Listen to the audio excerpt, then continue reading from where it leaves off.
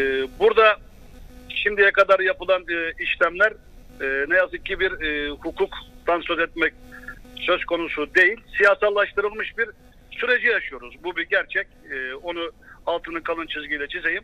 Buradaki e, iddialar e, var ama iddialar e, doğru değil.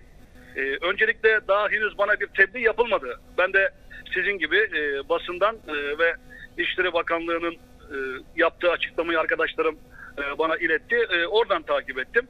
E, şeyi tekrar bakacağız bize e, gerekli tebliğ yapıldıktan sonra. Evet. Burada e, açık ve net söyleyeyim. E, ben değil, Yalova halkının iradesi görevden uzaklaştırılıyor.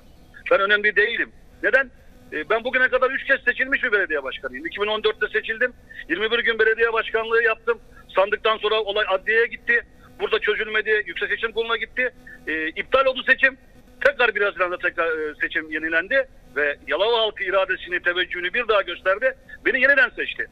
Beş Vefa yıl Bey. boyunca 5 yıl boyunca e, hiçbir şekilde Yalova e, halkının e, karşısına boynu eğik çık e, e, boynu eğik çık